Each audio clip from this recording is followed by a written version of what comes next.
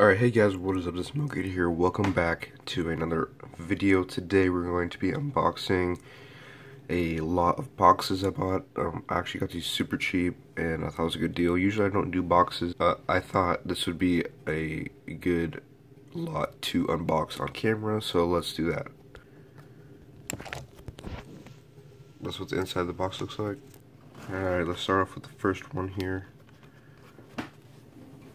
This is a number 22 Grand Prix Pontiac Coupe Grand Prix box. Looks like this flap was taped. But from this side, it looks in very decent shape.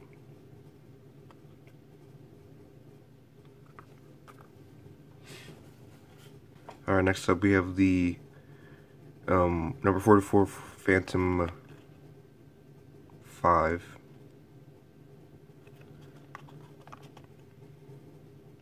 This is a D box. This is a E box with the, you can mostly tell from the numbers down here and the different flaps. This one actually looks in really good shape. There's some tape on the side.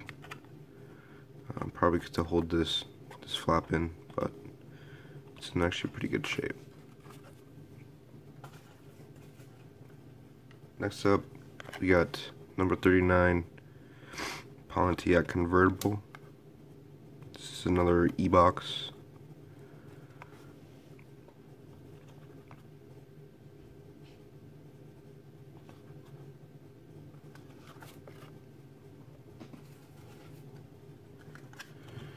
Here's another number uh, 39 Pontiac convertible box. This is a D box with the purple car on it instead of the yellow.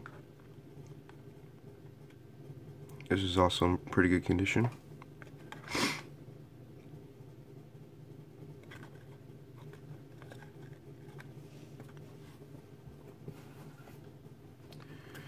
Next up, we got the number 31 Lincoln uh, Continental. Looks like it's missing the main flap on the side. But overall, it's not in too bad condition. It's got this sticker on the side. I don't know if I can take that off or not, but there you go. I really do love these box boxes with the art on them. Just the the style of art they used back then was really nice. Uh, this one, or number six, um, Quarry truck. This one is missing the flap on this side, but uh, really cool.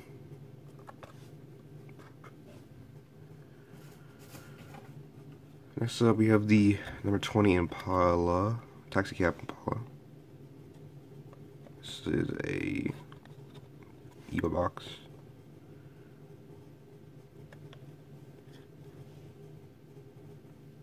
Cool stuff. Number 10, sugar container, truck.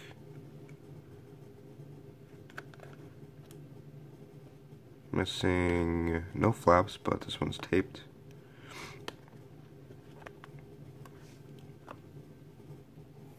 And last but not least, number 23, Caravan. This one's in a little worse condition. There's a bunch of wear and stuff up here. Surprisingly, there's no tape on this one though. But there's some weird damage on this thing, so. That's pretty much it.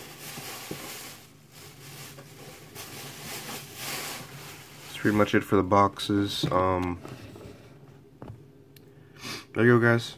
There is my box lot I bought. Um, it's actually not too bad. Probably my the best one is probably this one right here. There's no tape on it or anything. And uh, maybe this Phantom box pretty nice. And this caravan trailer. But uh, thank you guys for watching. Make sure please hit the like and subscribe button for more videos, and more unboxing videos are coming out in the future, so stay tuned, and I'll see you guys next time.